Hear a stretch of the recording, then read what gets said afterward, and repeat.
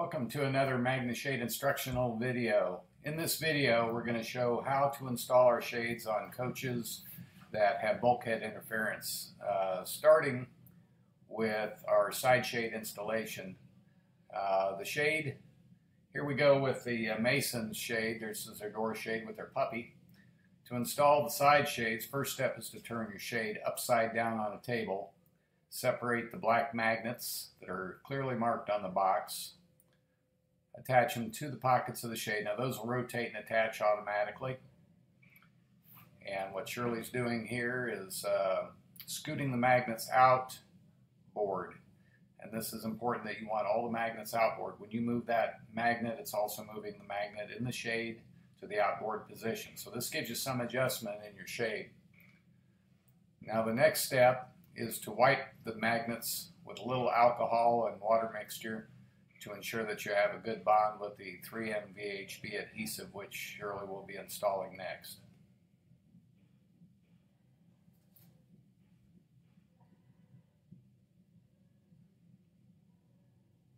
Okay, so the next step in preparing for the shade installation for your door is to add the 3M VHB adhesive dots. Peel the white film off the dot, do not touch the adhesive, and then you're going to place the adhesive dot on each of the magnets. And it helps to put a little pressure on them too. This adhesive uh, we use in all our windshield shades, all of our shade products has a working temperature range of minus 30 to 300 degrees. And it takes uh, 72 hours to fully bond to the glass. And we'll explain a little bit of that when we get to the installation on the door. If you want to skip to the windshield installation for this particular application, uh, it's at 5 minutes 11 seconds.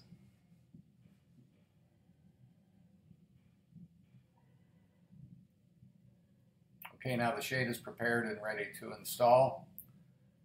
And now we're going to prepare the glass here in just a second. There you go. Very fast and easy there. All right, now here we go to the uh, glass preparation. What Shirley's doing now, we're using 4-aught steel wool and alcohol and water uh, mixture, 50-50 mixture. She's basically uh, cleaning the area with the 4-aught steel wool, which will not scratch your glass, but it will re help remove any wax or chemicals on the glass so that we get a good bond. So 4-aught steel wool is available at uh, pretty much any hardware store. And she's going to wipe that clean, just spraying a little extra alcohol on there to remove any of the uh, remaining lint. And basically you're just uh, cleaning the exterior portion of the glass. All right, now we're ready for the next step. With your shades, you're going to receive a box. It'll say Silane. We'll show you right here. The Silane is a 3M product that creates a monofilm on the glass. It's a bonding agent for the VHB adhesive and it also creates a barrier uh, for moisture.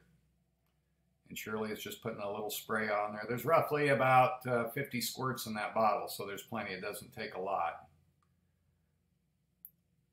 All right, so the Silane's applied and she'll, um, she'll be ready to install the shade. So what we're going to do next the magnets are scooted outboard. The adhesive is on the magnets. We're going to hold it up, line up the edges of the shade with the glass. Sometimes it helps to have a helper check the bottom edge. Once you're uh, lined up, then we're going to peel the film off one of the magnets. We generally start with the top and then work our way back and forth. You can start it, doesn't matter really where you start at the top. The important thing here too is also make sure that you don't touch the adhesive with your fingers. Um, oil from your hand will cause the adhesive not to stick. So Shirley's going to start here and um, pull the uh, VHB film off and sticking it to the glass. When she does that, she's going to also put some pressure on those magnets. I'd suggest about 30 seconds of pressure uh, on the magnets. And then once the magnets are installed to the glass, you want to remove your side shades for at least 72 hours before reinstalling. And now she's going back and putting a little more pressure on those magnets and they should be good to go. Now for our windshield installation, and on certain models of coaches, for instance, uh, Phaetons, uh, Tiffin Phaetons, uh, Tiffin buses, London Aire, certain years of models, you're in it uh, unable to access the top of the windshield from inside of the coach. In this case, we use exterior top magnets, and the remainder of the magnets go inside the windshield. Shirley's going to show you here, um, uh, we actually have that shade hanging on our garage door. First step is to clean the interior perimeter of the glass, the portion that you can reach, um, with the uh, alcohol and water mixture and a clean microfiber towel. We use microfiber towels because they don't leave lint. You want to make sure it's clean, not something you've already waxed your coach with.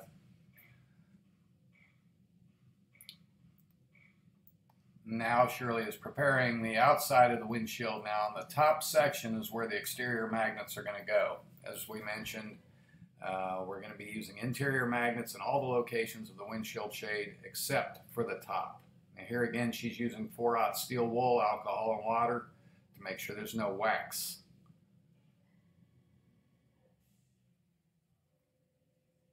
So she'll go through this process on the whole top of the windshield and get it clean.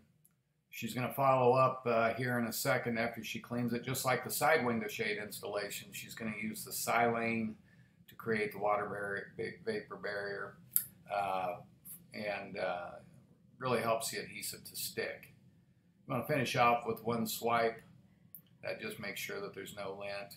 Generally, you're going to have about 15 minutes after you apply the silane. If it goes longer than that, um, then you're going to just reapply the silane. Okay, here's your magnet set. You got package A. That's going to be the heavier magnets, which are going to reach the uppermost portion of the interior shade, your black exterior magnets, and the remainder of the magnets in the center there that go throughout uh, the rest of the application for the windshield.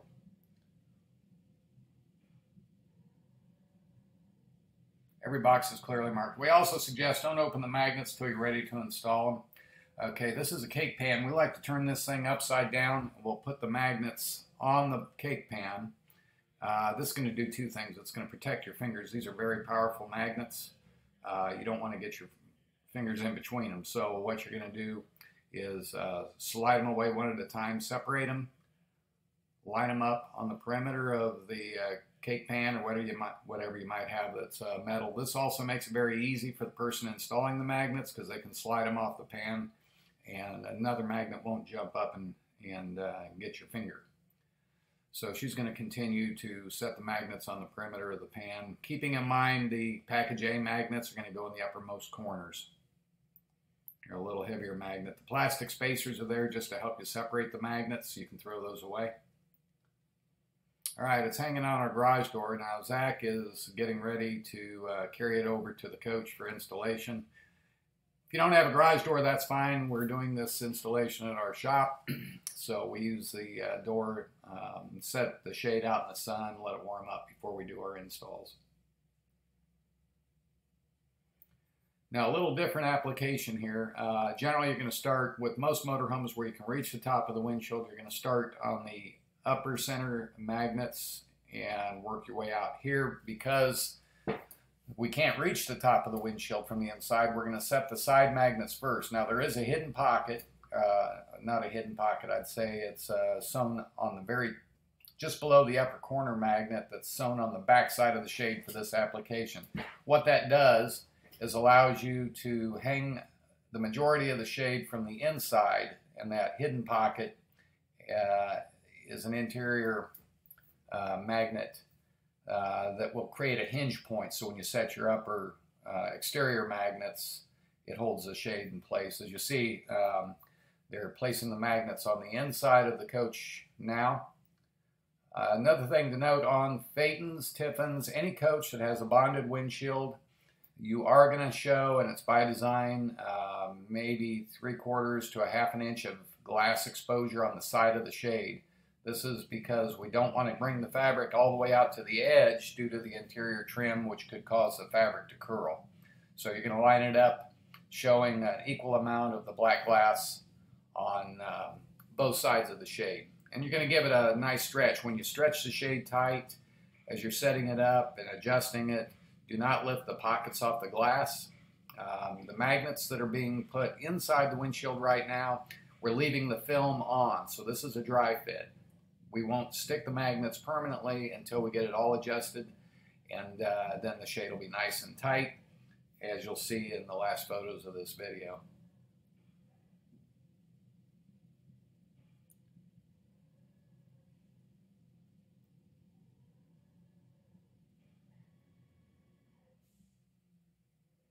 And so we're stretching the shade out, getting it nice, nice and tight.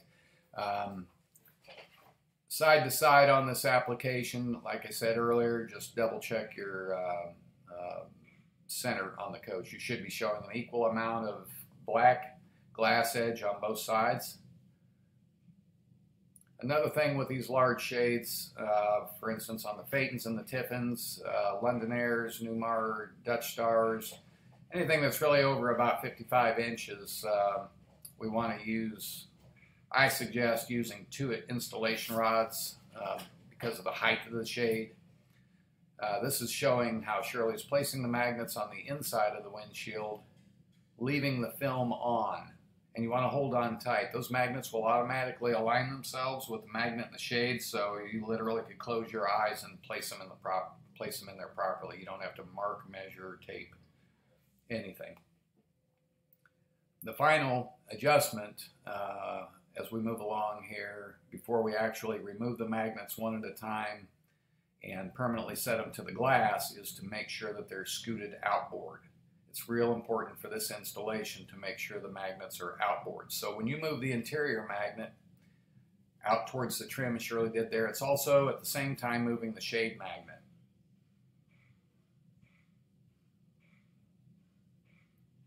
And this is the uppermost uh, location that we can reach uh, the inside of the windshield. That would be the hidden pocket she's placing the magnet on there. So um, there's roughly, I believe, around six to seven inches of bulkhead uh, interference there. So that's the highest point you can reach the magnet on the 17 Phaeton that we're doing here um, which would be similar to the other coaches, like some of the Dutch Stars, London Aires, King Aires that we do.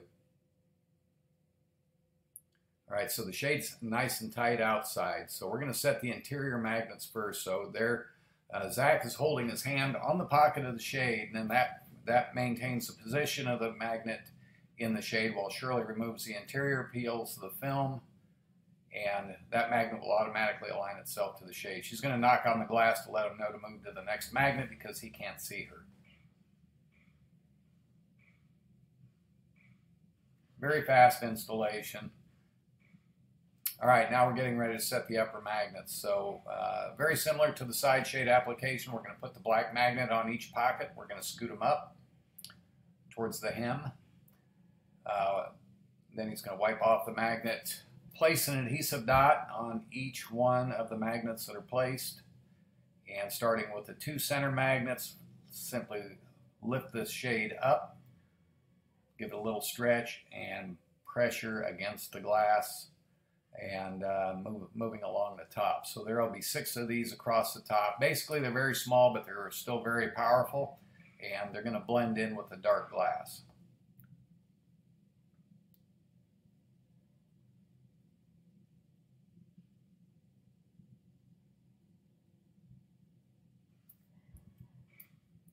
A couple other considerations here as a tip. Uh, if when you're installing your shade from the ground with the rods, if the fabric seems like it's dragging against the windshield, um, it's a good idea sometimes to clean your glass uh, with a light pressure using uh, 4-aught steel wool and some uh, foaming glass cleaner. We like to suggest as well to use some foaming uh, Rain-X glass cleaner. Um, but not in the pocket areas. Uh, that just helps the shade slide up the glass when you're getting ready to install it. All right, so uh, the top area has been cleaned now. Zach is applying the silane, giving it a light sweep. Silane, uh, uh, by the way, most people don't know this, but glass absorbs moisture. It actually is like a sponge. Silane creates a monofilm on the glass so any moisture buildup cannot pass through the glass into the adhesion point of the magnet. So it's imperative that uh, it's cleaned properly with the alcohol and water, uh, clean microfiber towel and um, and using the silane spray. And there's plenty of spray that we send along with our shades. He's applying pressure now to those two center magnets. This is the gap that you're generally going to see on a bonded windshield.